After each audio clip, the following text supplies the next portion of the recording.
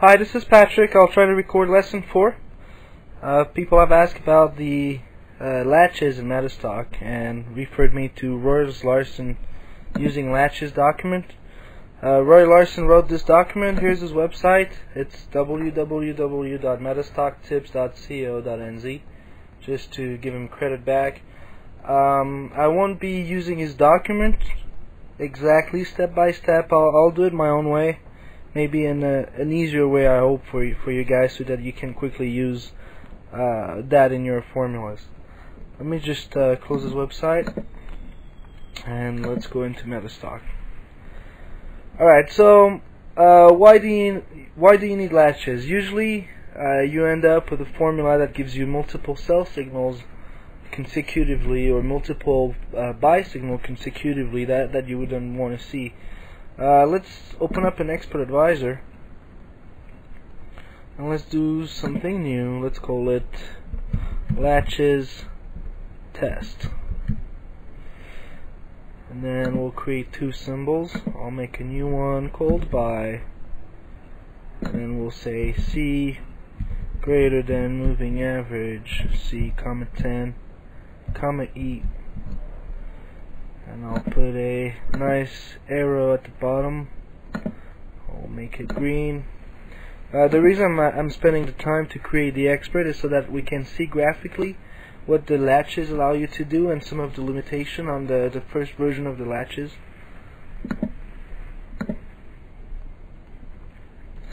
okay and then let's make a new one sell and we'll just use the opposite condition And I know that if we're moving average, we could just use the cross function, but some people don't like the cross function, and it's just easier for me to use a moving average, so I don't have to type a long buy and sell formulas everywhere. And we'll put this one above, and we'll make it red. Alright. And then let's just attach this expert on the chart. So if we zoom in the chart, you can see that right here I've got I don't know about 20 sell signals or enter short signals or whatever they are. And then I've got about 10 buys or enter long signals etc etc so let's assume I only wanted one buy followed by one exit long or one enter short and then followed by another buy then followed by another uh, short signal or exit long signal I would have to use latch. Usually what I do is I use uh, a little template. Let me write it out. Uh, let me click on tools indicator builder click on new and then let's call it uh, testing or latch latch 1 latch 1 alright so usually what I write and if you guys want to write that down that's a little template here. I type in buy, open uh, uh I'm sorry buy colon equal then my buy formula or my you know enter long formula or my enter short formula whatever then semicolon then sell uh, semicolon I'm sorry sell colon equal then my sell formula semicolon and then if I wasn't an expert and I wanted to see the buy signal I would type in buy and buy since ref oops ref of buy comma minus one greater than since ref of sell comma minus one. And I'm sure you've seen you've seen me post uh, those kind of formulas all over the website. So that would be the buy. And then if I wanted to sell, I would copy the same thing, except I would just replace the buy signal by sell, and I would replace the greater than sign by less than. Um, let me copy and paste actually I guess you guys can no you guys can't see it. Let me just copy and paste that into a WordPad document so that you can write it down. Alright so in here I'll just type in the, the original formula. So C greater than moving average of close comma 10 comma E. And then C less than moving average of the close comma 10 comma E and I usually just copy the original formula of the buy, copy that for the sell, and then just change the last line, of course. So I can just copy this. So what does this do? I first declare my buy formula. That can be any condition, doesn't matter. It has to be a condition though. Uh, then I type in my sell formula. It's got to be a condition as well. And it doesn't have to be buy and sell. It can be enter long and stop. Can be enter long and exit long. Can be enter long and enter short. Can be enter short and exit short. It doesn't really matter what the names are here. Don't don't spend too much time on that. And then I say I want the buy signal right here. I want the buy signal to be true. So it means I get a buy signal today. And then the number of bars since the previous buy signal is greater than the number of bars since the previous sell signal. Which means that the previous sell signal occurred before the previous buy signal. So that I know I get a buy, a sell, a buy, a sell. I hope that's simple enough. Um, and that should give you enough time to to write it down. So that's usually the solution I use. Uh, it's very quick and easy, but there's a problem with it. The problem is you need to have a first buy and a first sell signal so that you can refer to them and calculate how many bars since the previous buy and sell signal. Which means that every time you use those formulas, you're missing the first buy and the first sell signal. Now let's uh, let's take the time to to double check that. Let me cancel on this for now. Save changes, sure. We'll come back to this later. And then let's open up another chart. Actually, let's come here. Let's take a look and let's mark down our first cell signal. And let's mark down our first buy signal. Okay? And now let's uh, let's apply the indicator. Uh, I'm just going to combine them, and I'm going to say if 1, uh, if buy 1, if sell minus 1. So let's just copy all this. And tools, indicator builder, edit, and then let's paste our formula here. Alright, because I'm combining them, um, I don't need to repeat the variables, so I can just delete this and just keep my final two and then just uh, put an if statement around it if blah blah blah comma one if the sell signal comma minus one and here I don't forget about the else so else comma zero oops zero then close parenthesis alright I missed something Oh, a comma. Okay. So I need a comma right here. And I need a close parenthesis right here. Alright. Let's apply this. Alright, so it's giving me a sell signal right here. Which is good. And then it doesn't give me a, a buy signal to right here. So that's correct. So I mean if I if I look at those signals they're correct, but look. I'm missing that first sell signal or enter short signal or exit signal, whatever you want to call it, and that first buy signal. Alright? So, the template you, you just wrote down, if you did write it down, uh, works fine. It works with everything. It's very easy to use. Uh, the only problem with it is that it doesn't pick up the first and second signal.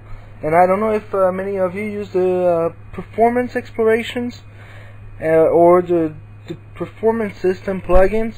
I believe that all the experts uh, explorations in, in, that plugin are using that type of a, a, latch, which means that all those system tests that you're running for performance system and performance explorations are always missing the first two trays. I don't know how much it affects the, the results, but that is something that I thought you should know. So now let's take a look at uh, Roy's Roy's document. Uh, I've actually learned something reading it. I I don't really like the way it's presented, but it's actually uh, it offers you a solution to the the problem that I'm just highlighting right now.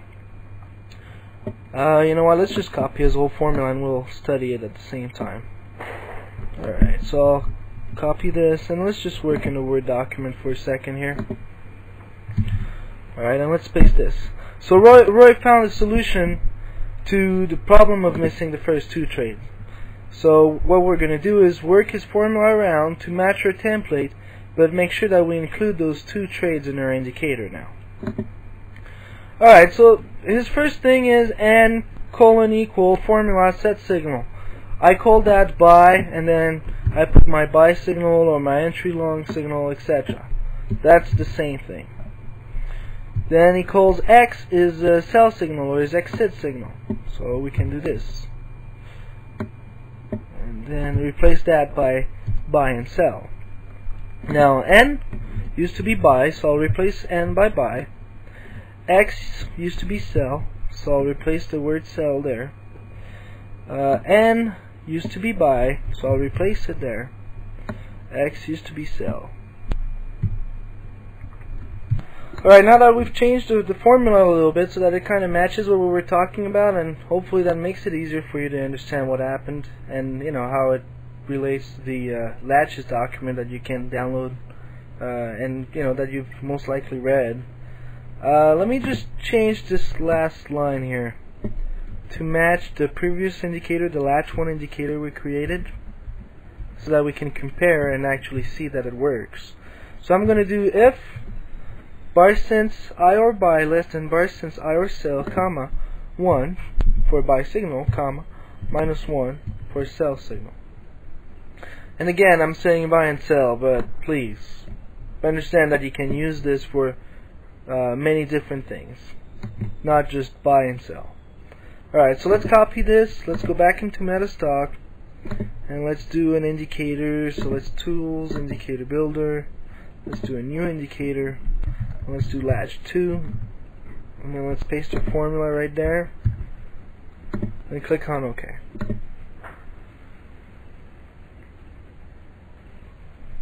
And then let's apply it on the chart. And here you can see the indicator plots a minus 1 on first signal, stays flat, and then plots a 1 on that signal. Now what you can do is um, scroll along and make sure that your latch works.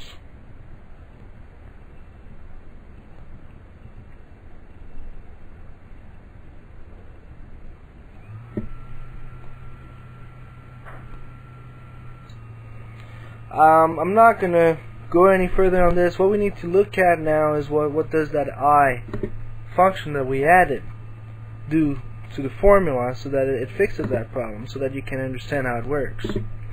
Let's uh, let's delete what we had earlier. Alright, so here is our i variable. Let's just copy it again. Oops. Control C. Okay, let's come down here. Let's just paste it.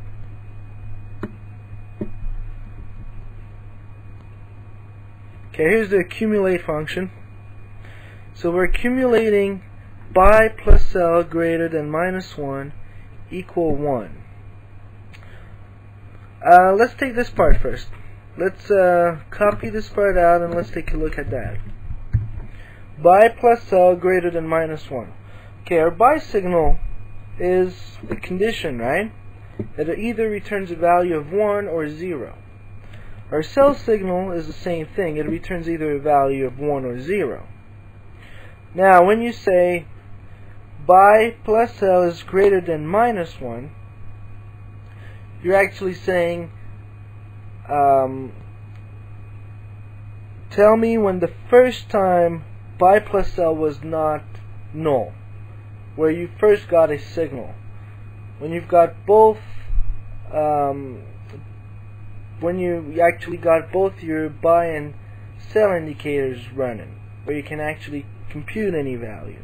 So buy plus sell greater than minus 1 equals 1 comes back to saying uh, please tell me when both buy and sell condition or, or the indicator used in buy and sell is not null anymore.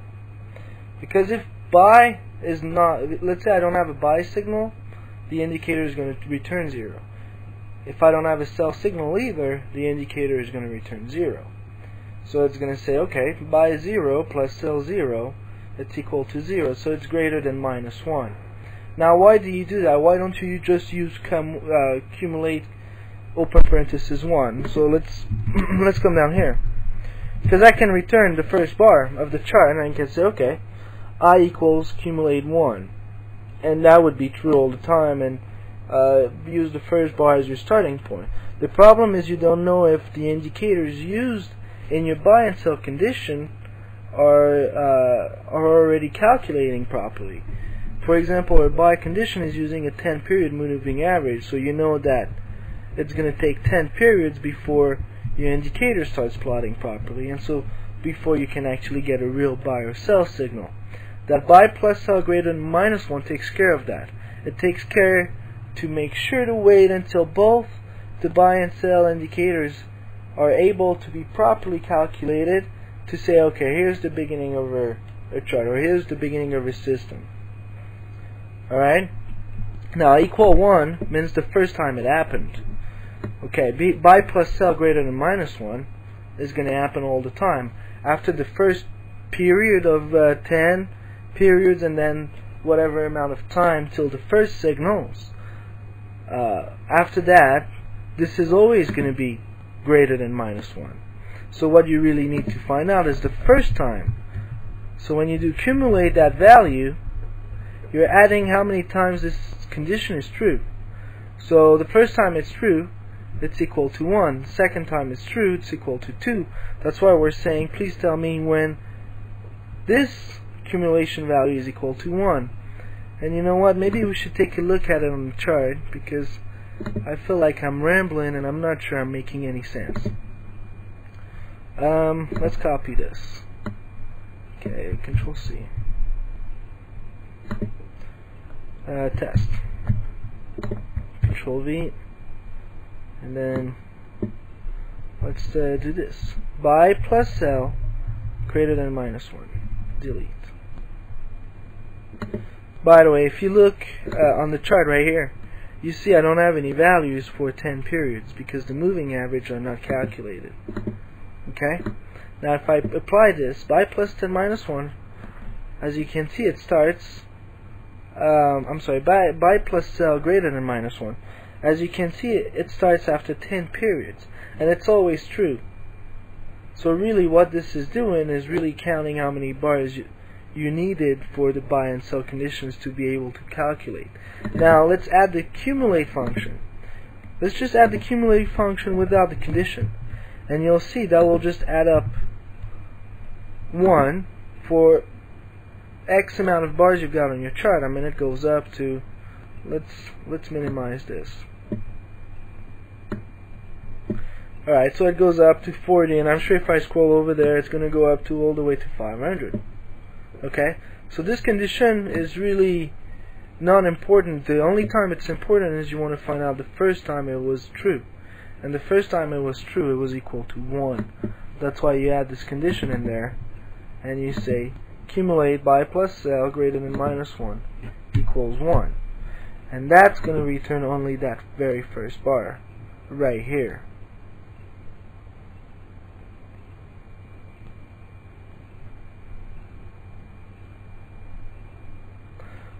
Alright, um, I hope that explains some of the latches in the Rose documents. Um, I'm not going to go over the uh, ones using the previous function. Um, we might go into that a little later, especially um, when you come across uh, four four conditions: uh, enter long, uh, exit long, enter short, exit short Actually, I think I do have uh, something similar on the on the forum.